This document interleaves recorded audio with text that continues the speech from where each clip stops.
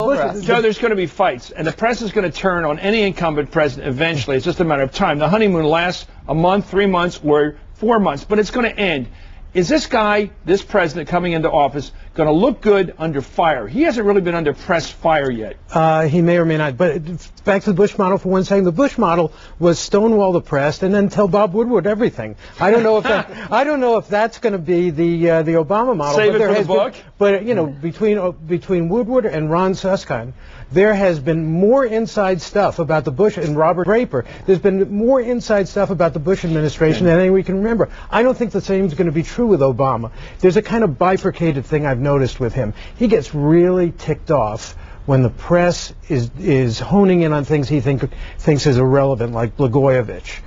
Uh, he's got all the time in the world for you if you want to talk to him about green energy, green jobs. Yeah. And and I think that if we harp on things like Blagojevich, you've already seen him get a little testy in, in a couple of these press conferences about that. Okay, uh, Katty, this uh, the press aren't beloved. Is he already just I'm picking a fight in the press room like Nixon did at this no, point? I don't think that picking fights with the press corps deliberately actually has ever really served presidents particularly well. I mean, we saw that with Bush to some extent after 9/11, when they deliberately kept the press corps out, and uh, the press corps in that crisis time sort of played along. But then the press corps, having been kept out, turned with a vengeance on the president after Katrina.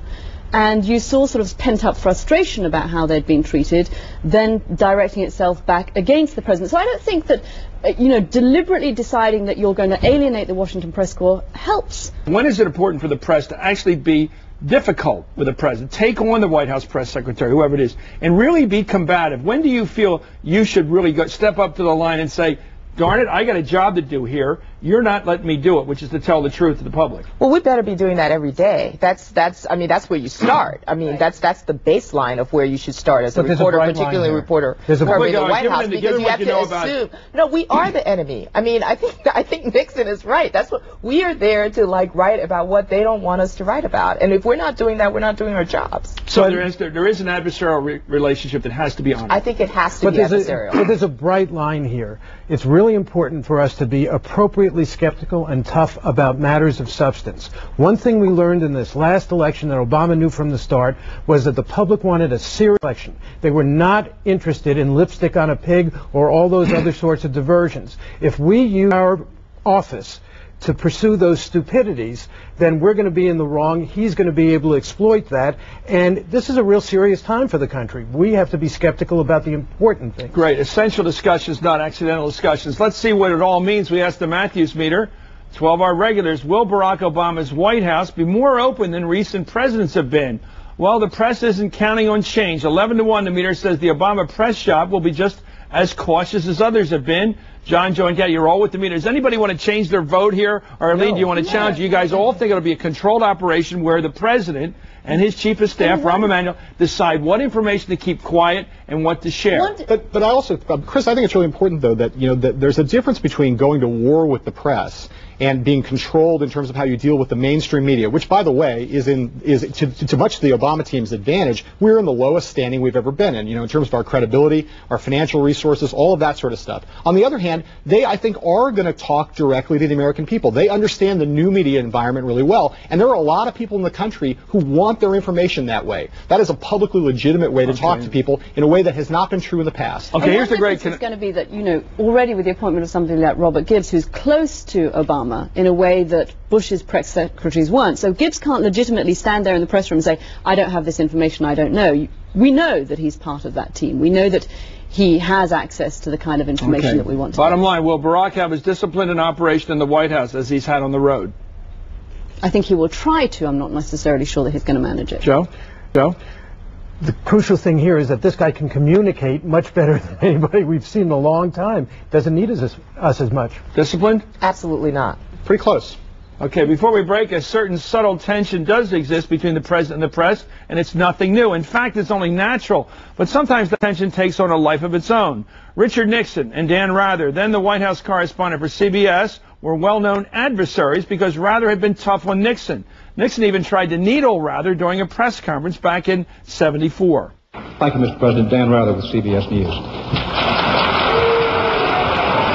President, President, Are you running for something?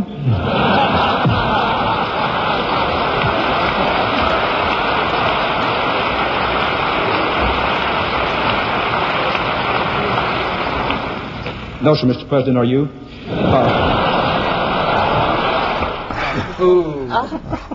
Love means never having to say you're sorry. Anyway, Bill Clinton has a notoriously short fuse. It showed when he was announcing Ruth Bader Ginsburg for the Supreme Court. And Brit Hume, then with ABC News, asked this. Withdrawal of the Guinier nomination, sir, and your apparent focus on Judge Breyer and your turn, late it seems, to Judge Ginsburg may have created an impression, perhaps unfair, of a certain zigzag quality in the decision-making process here.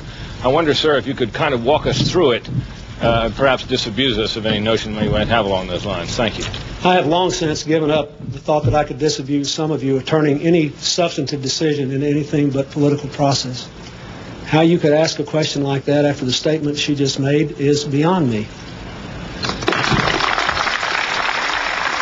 George W. Bush has been clear. He draws lines with the press. Here he was early last year in the midst of the Scooter Libby fiasco when a reporter pushed him on whether he'd okayed three others to leak to the press. And without commenting on the Libby trial, then, can you tell us whether you authorized any of these three to do that, or did they about it. authorize without your permission? yeah, thanks, Pete. I'm not going to talk about any of it. They're not under investigation, though. sir. Peter, not going to talk about any of it. How about pardon, sir? Maybe we'll ask if you might pardon Not somebody. going to talk about it, Peter. Would you like to think of another question? But let's be plain, sometimes the blame does lie with the press. Sometimes we push the envelope, and while George Bush has gotten some tough questions hurled at him here at home, nothing can compare to that follow-up this past week in Baghdad. when we come back, Senator Caroline...